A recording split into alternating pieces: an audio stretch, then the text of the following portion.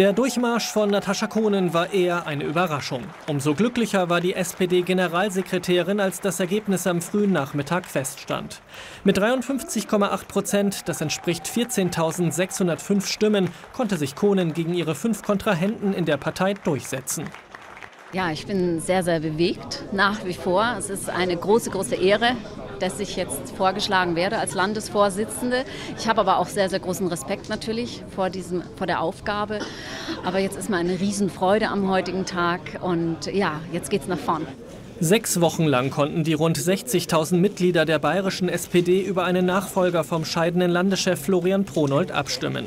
Insgesamt hatten sich sechs Kandidaten zur Wahl gestellt. Die Beteiligung bei der Mitgliederbefragung lag bei annähernd 50 Prozent. Über 100 Freiwillige hatten sich seit dem frühen Morgen in der SPD-Parteizentrale am Oberanger an der Auszählung der Stimmen beteiligt. Wir hatten ein ordentliches Verfahren, die Kandidaten haben sich präsentiert und jetzt haben wir eine glorreiche Siegerin mit Natascha Kohnen, die ein fantastisches Wahlergebnis eingefahren hat. Jetzt schließen wir die Reihen. Ebenfalls als Mitfavorit wurde der Münchner Landtagsabgeordnete Florian von Brunn gehandelt. Doch er konnte bei der Basis offenbar nicht genügend punkten. Er erreichte 19,8 Prozent. Mein Ergebnis hätte besser sein können. Insofern bin ich nicht zufrieden, aber enttäuscht bin ich nicht.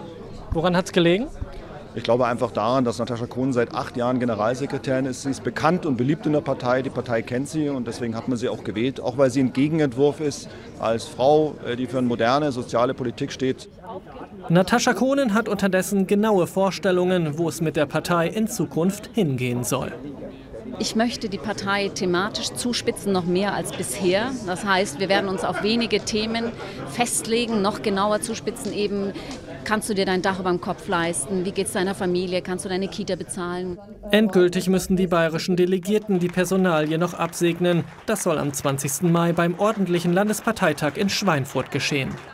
Die bayerische SPD hat ihre Supergenossin nun also offenbar gefunden. Natascha Kohnen soll es nun also richten.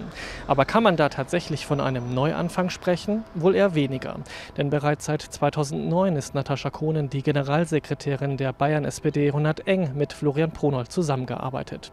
Aber die Genossen haben ebenso entschieden. Nun wird sich bei den nächsten Bundestags- und Landtagswahlen zeigen, ob es tatsächlich einen Kohnen-Effekt geben wird.